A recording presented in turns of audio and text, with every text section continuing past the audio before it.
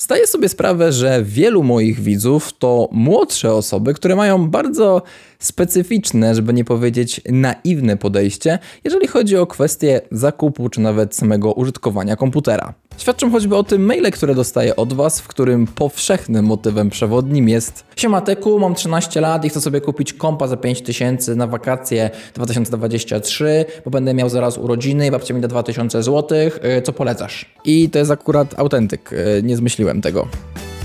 Serio.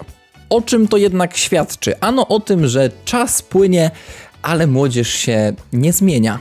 Nastolatkowie jak planowali, tak planują miesiące, a nawet całe lata do przodu, najmniejsze choćby inwestycje, jeżeli chodzi o sprzęt komputerowy. Przy okazji totalnie ignorując przy tym fakt, że to co wymyślą dzisiaj rano może być już niestety nieaktualne wieczorem tego samego dnia, a co dopiero za tydzień, miesiąc czy nawet rok. Dlatego ja zawsze powtarzam to samo. Zakup komputera planujcie na moment, w którym macie całość środków niezbędnych do jego zakupu. I nawet jeżeli to miałoby być jutro, to poczekajcie do jutra, bo rynek jest tak dynamiczny, tak nieprzewidywalny i tyle się ogólnie dzieje, że nie ma najmniejszego sensu tracić czasu, zaplątać sobie głowy, a przede wszystkim się irytować i denerwować, że oferta, którą obserwujecie od tygodni, dni czy miesięcy, powoli wam gdzieś tam znika, czy drożeje, czy się wymyka spod kontroli, bo wiemy jak jest. Przy tym wszystkim młodzież boryka się jeszcze oczywiście z najbardziej podstawowym problemem, którym jest brak środków na zakup, a w związku z powyższym kumulują oni wszelkie możliwe oszczędności i zaskórniaki skąd tylko mogą, no i oszczędzają na potęgę jak się da. I ja to absolutnie rozumiem. Sam miałem 13 lat i robiłem wszystko, co w mojej mocy, żeby tylko wymienić cokolwiek w moim komputerze, czy miało to sens, czy nie miało to sensu, ale byle coś się w nim zmieniło. Na nowe, na lepsze, na świeższe, na po prostu inne. A czy miałem na to wszystko tyle środków, ile potrzebowałem? Oczywiście, że nie. Zawsze kasy było za mało albo nie było jej w ogóle. No i oczywiście trzeba było ją skądś pozyskać. No a przy tym wszystkim na domiar złego apetyt zawsze rósł w miarę jedzenia. Dlatego dziś pogadamy sobie trochę o tym, co się zmieniło, a co pozostało niezmienne, jeżeli chodzi o kwestię budowania PC-ów przez młodzież i nastolatków. A że przy okazji MSI podrzuciło mi jedną ze swoich nowych skrzynek, to użyjemy jej do porównania obudów starej oraz nowej generacji i to wszystko wykonamy przy okazji konwencji chyba jednej z waszych ulubionych serii na moim kanale, czyli Kiedyś to było.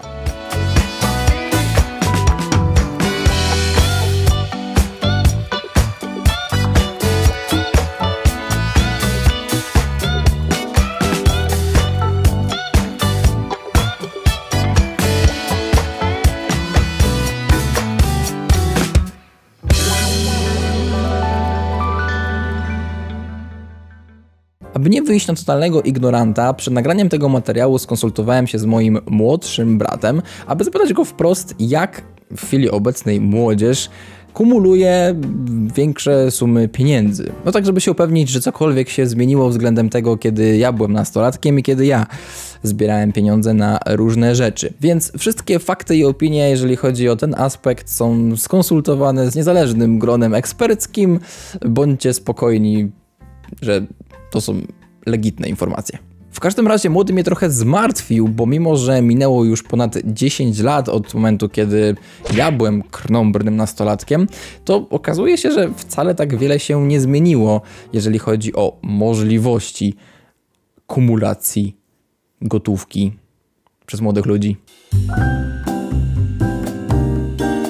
Gdzieś na przestrzeni 2007-2008 roku zaczęła się moja przygoda z forami internetowymi. Obecnie fora zostały zastąpione, a być może nawet już i wyparte przez grupki facebookowe, ale kiedyś bycie adminem, a nawet modem na takim forum, uuu, panie, to było coś. W tamtym też czasie nie miałem zbyt dużo odłożonej gotówki, ale jak to młody i nabuzowany człowiek, który spędza całe dnie w internecie i przeszukuje najlepszej jakości sprzęty, recenzje i ogólnie poszukuje wszelkiej możliwości poradników, miałem ogromną potrzebę ulepszenia czegoś w moim komputerze tylko dla samego faktu ulepszenia czegoś. byle czego, byle coś zmienić. A co można prawie zawsze bezpiecznie sobie ulepszyć w komputerze bez najmniejszej obawy o zablokowanie sobie jakiejś tam możliwości dalszego rozwoju czy rozbudowy naszej jednostki? No oczywiście, że tak. Obudowa i zasilacz. W szczególności kiedy obudowa ma swoje lata świetności już dawno za sobą, a zasilacz pochodzi z tak zwanej czarnej listy.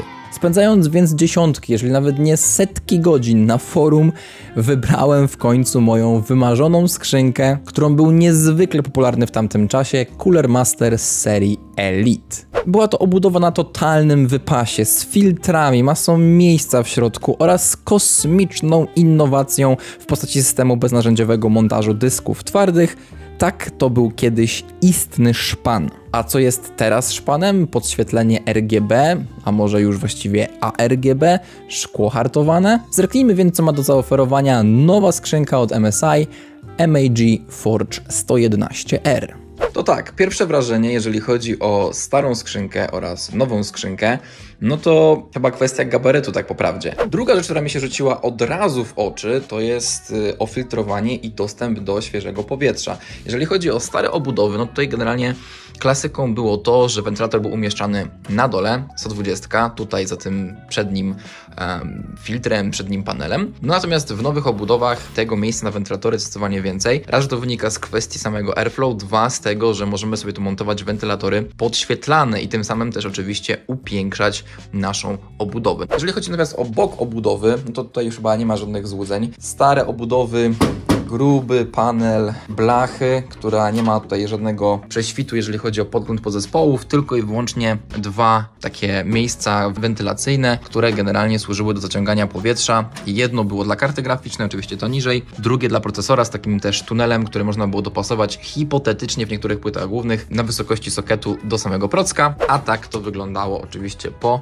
zdemontowaniu panelu bocznego. Tu jest teraz mega syf jeszcze, ponieważ tego komputera nie sprzątałem, bo chciałbym to zrobić też na wizji, ale to jakby o tym później. Nowa skrzynka natomiast, no to już jak widzicie panel ze szkła hartowanego i w takiej sytuacji pełna możliwość eksponowania komponentów dla naszego oka. Z ciekawostek i rzeczy oczywiście najbardziej ewidentnych, no to nowe obudowy, piwnica, czyli miejsce, gdzie możemy schować wszelkiego rodzaju przewody, plus oczywiście zasilacz, Stara obudowa, zasilacz u góry, który pełnił też funkcję wentylującą, czyli zaciągał ciepłe powietrze i oczywiście wyrzucał je tyłem. I to też było całkiem w sumie sprytne, ponieważ tu jak widzicie powietrze przechodziło tędy, wychodziło tutaj, no i to co zostało wyciągnięte oczywiście tyłem to było tyłem, ale dodatkowo jeszcze, e, że tak powiem, stopnie Celsjusza uciekały górą. Generalnie, jeżeli chodzi o przepływ powietrza, jest to dużo prostsza droga, ponieważ wszystko, co wpadnie tędy, wypadnie tędy, ewentualnie tędy. A jak widzicie, jest tutaj wszystko dosyć szczelnie też ofiltrowane, plus daje możliwość zamontowania czy to chłodnicy, czy nawet z tego co widzę 280, lub prawdopodobnie 360, jeżeli chodzi o front, bo z tego co widzę wycięcie powinno na to absolutnie bez problemu pozwolić, oczywiście odsuwając tą oto tutaj klatkę montażową dla dysków talerzowych bądź SSD. W związku z powyższym, że jest tyle tych otworów, obudowa mogłaby się wydawać bardzo gibka i bardzo giętka, ale konstrukcja jest z tego co czuję po rękach no dosyć zwarta, mimo że w sumie dość lekka. Co było z morą w starych obudowach? No oczywiście cable management i sama kwestia montażu przykładowo takiego chłodzenia, ponieważ z tyłu na tylnej ściance, tam za płytą główną, nie było tak zwanego backplate'u, e, a właściwie nie backplate'u, tylko tego otworu backplate'owego, nie wiem jak to dokładnie nazwać, w każdym razie tego oto tutaj wycięcia. Przez to, jeżeli by nam przyszło taką, takie chłodzenie montować już później, kiedy płyta była w komputerze, oto była mega, ale to mega lipa, bo nie dało się po prostu tego zrobić bez demontażu płyty. A w nowych obudowach, w nowych konstrukcjach, w tym również w tej obudowie MSI, tego problemu by nie było. Oczywiście czegoś, czego też nie było szans uświadczyć wcześniej, no to kontroler. W tym wypadku nie jest to kontroler wentylatorów, bo wentylator jest tylko i wyłącznie jeden, ale jest to kontroler ARGB do sterowania podświetleniem tegoż właśnie wentylatora. W tej obudowie jeszcze znajdziemy w piwnicy właśnie tą klatkę dla dysków HDD z dwoma takimi oto tutaj sankami plastikowymi dla tychże dysków, które mają wycięcia pod oczywiście dyski 2,5 calowe, no i dyski 3,5 calowe. Te oto ramki są z dosyć twardego, ale elastycznego plastiku. Tak, a to jest właśnie ten innowacyjny system beznarzędziowego montażu dysków. Kiedyś niesamowity hicior, w chwili obecnej no raczej relikt przeszłości. A tu wentylator ściągający chłodne powietrze sprzed obudowy. Natomiast jeżeli chodzi o filtry, to tutaj już standardowo, jak w każdej innej obudowie, wystarczyło włożyć rękę pod spód, odepchnąć. O jest, ale to będzie kurzu teraz. Uuu. Tak jest. I tu były takie bardzo grube płaty takiego materiału, który miał właśnie stanowić filtrację dla kurzu. Ale jak widać, wychodziło mu to kiepsko. A tutaj jeszcze w ramach ciekawostki, hehe, ukryty przekaz, ale niecenzuralne słowo, więc muszę za, za, zakryć palcem. Ale kiedyś bardzo lubiłem ten zespół.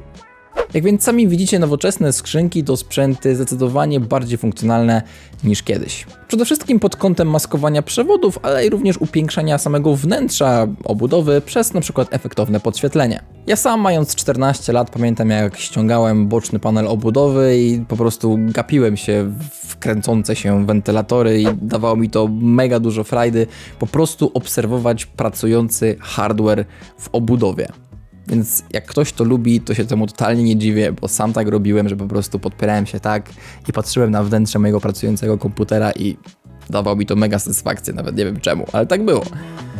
No a teraz? No a teraz szkło hartowane to element już tak podstawowy niemal jak sam włącznik na obudowie, więc każdy może sobie swobodnie siedzieć albo stać obok swojego komputera i podziwiać jego wnętrze przez piękny, przeszklony panel. Można więc wysnuć śmiałe wnioski, że producenci obudów wyszli poniekąd naprzeciw oczekiwaniom klientów i obecnie obudowy komputerowe są w stanie zaspokoić wszelkie potrzeby i gusta nabywców. Jednocześnie to, co się zmieniło, to fakt, że znakomita większość młodych ludzi lubi wyeksponowany sprzęt, dodatkowo jeszcze ładnie podświetlony i dobrze prezentujący się w efektownej obudowie. Ale właśnie, jak mając 13 czy 14 lat, udało mi się zebrać całkiem pokaźną sumę pieniędzy na sporawy upgrade polegający właśnie na wymianie obudowy zasilacza, dorzuceniu dysku i jeszcze dodatkowego napędu DVD. Otóż sprzedawałem złom w skupie, czy sprzątałem podwórko, piwnicę i pozbywałem się wszelkich możliwych drobiazgów,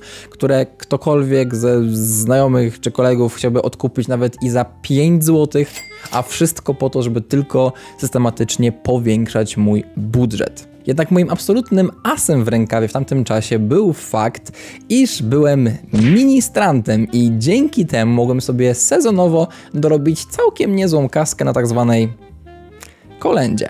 I głównie właśnie dzięki temu zajęciu po paru latach udało mi się uzbierać ponad kilkaset złotych. Przy okazji, co ważne, w tamtym czasie nie otrzymywałem żadnego kieszonkowego od rodziców, więc jedyne pieniądze, jakie ewentualnie mogłem dostać, to były te na rodziny czy imieniny, więc jakieś tam okazje, które wypadały maksymalnie dwa bądź trzy razy do roku. I tu nasuwa się pytanie, które w tym momencie kieruję do Was. Wpiszcie w tym momencie Wasze sposoby, czy Wasze patenty, jako oczywiście nastolatków, czy no dzieciaków, bo już tu nie będę generalizował, na właśnie zdobywanie kasy, czy zarabianie, chociaż zarabianie to jest może duże słowo, więc nazwijmy to po prostu gromadzeniem pieniędzy. Śmiało, wpiszcie w komentarzach, jak wy pozyskujecie kasę, co robicie, żeby ją otrzymać.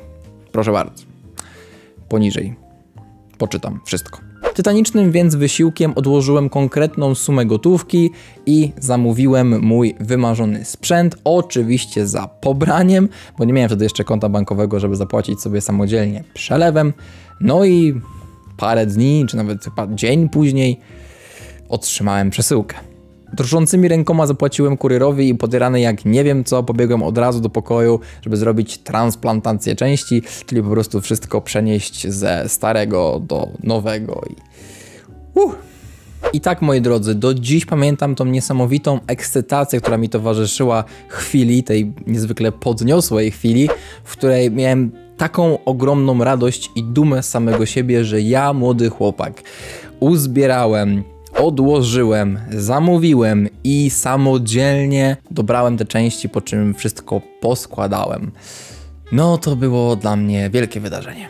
No i oczywiście wiadomo, że mając lepszy zasilacz oraz oczywiście przewiewniejszą, chłodniejszą obudowę, zacząłem również pierwsze przymiarki do overclockingu, bo jak wszyscy doskonale wiemy, jest nowy sprzęt, FPS się musi zgadzać. A skoro temperatura procesora istotnie spadła po zmianie obudowy na nową, a zasilacz miał zapas mocy, to kręciłem staruśkiego Atlona 2600 XP ile fabryka dała. Znaczy, no realnie to podniosłem zegar tam o paręset megaherców, no bo akurat fabryka zbyt wiele nie dała, ale ile się dało, to wyciągnąłem z tego staruszka. Gdybyście jednak to wy napalili się na nową obudowę jak dzik na żołędzie i padłoby akurat właśnie na MAG Forge'a 111R, to moglibyście się spodziewać następujących temperatur.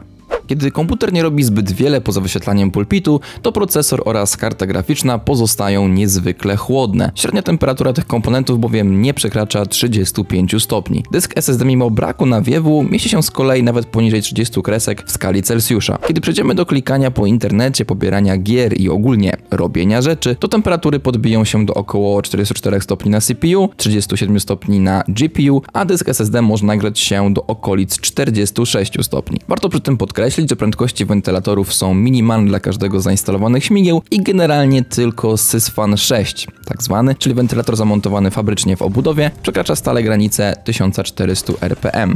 Czas więc zerknąć, co się dzieje po rozegraniu kilku rundek w Black Ops Cold War. Temperatury nadal no jak marzenie. Na CPU do 58 stopni maksymalnie, na GPU do 70 stopni. Z kolei dysk przeszedł do średniej temperatur na poziomie 36 stopni, a sekcja zasilania płyty głównej nie wykazuje problemów z przegrzewaniem, bo i temperatura mieści się poniżej 60 stopni Celsjusza. Jak zatem na skrzynkę bez bezpośredniego nawiewu świeżego powietrza do wnętrza jest rewelacyjnie. Ja zmieniając obudowę ze starego no-name'a na nowiutkiego coolera czułem się wręcz jakbym wygrał w Totka, więc jeśli wy byście się skusili na MAG Forge'a 111R, to akurat też nie musielibyście się zupełnie o temperaturki martwić, bo jest całkiem przewiewnie. Jeśli chodzi o ilość miejsca na cable management, również jest go pod dostatkiem, choć trzeba mieć na uwadze, że do skrzynek o tych gabarytach najlepiej jest pakować zasilacze modularne z uwagi na możliwość zredukowania liczby zbędnych wiązek. Jeśli jesteście więc młodą osobą, albo niekoniecznie młodą, ale po prostu taką, która chce w tym momencie zrobić jakiś upgrade kompa, albo po prostu zacząć budowę nowego komputera, ale nie ma jeszcze całości środków, powoli dopiero zbiera, ale już musi coś mieć, żeby już coś zmienić,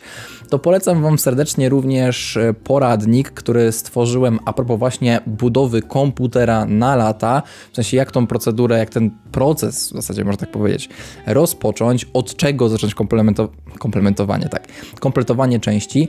Link do mojego artykułu na portalu Geeks, e, który napisałem, który umieściłem, jest w opisie tego materiału. Tam sobie wejdźcie, poczytajcie i tam macie też przy okazji w tym artykule odnośnik, a to gdzieś tam będzie teraz w tym momencie karta, do filmu, w którym jest również test. Test komputera zbudowanego pod platformą AMD, który gdybyście go składali jakby w chwili premiery, no to spokojnie byście mogli ciągnąć no praktycznie nawet 4 lata na takim setupie, jeżeli chodzi oczywiście o płytę główną i wymieniając przykładowo co 2 lata procesor na najnowszej generacji. Więc serdeczne polecanko, gdybyście byli zainteresowani tematem i chcieli poczytać więcej, no to właśnie link w opisie oraz film, który wypuściłem no chyba jakoś około niecałe dwa tygodnie temu. Mam też nadzieję, że taka forma odcinka z takimi retrospekcjami, jakimiś tam starymi fotkami i moimi wspominkami się Wam ogólnie spodobała.